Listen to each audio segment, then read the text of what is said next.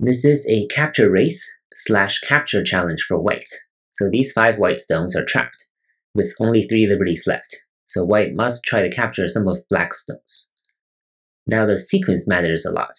If you Atari from behind first, and cut here, this way white will fail, because this is a two liberties versus three liberties situation, and number three and five will be captured. So that is why cutting here first is very important. Black should still Atari this way, and now white can extend again, or throw in here. Either is fine. And when black plays here, white gets to play this throw in, whereas in the first variation, white did not play this throw in. And this throw in makes a world of difference because it has effectively reduced black's liberties by one. Now if black connects, then white will be able to capture black like this. So the best black can do is to simply capture these two stones and allow white to capture these four black stones.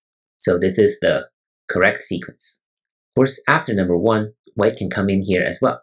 If black captures, then white can still play this move. And these four black stones will be captured from behind. Once again, black cannot connect at number 8 and can only allow white to capture these four stones. Thus, the sequence here is really important, cutting here first and throwing in here second.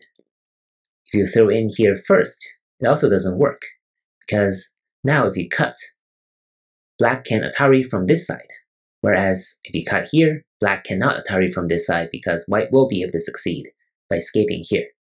Overall, a very useful pattern that might actually come up in games. So you have to know the sequence here.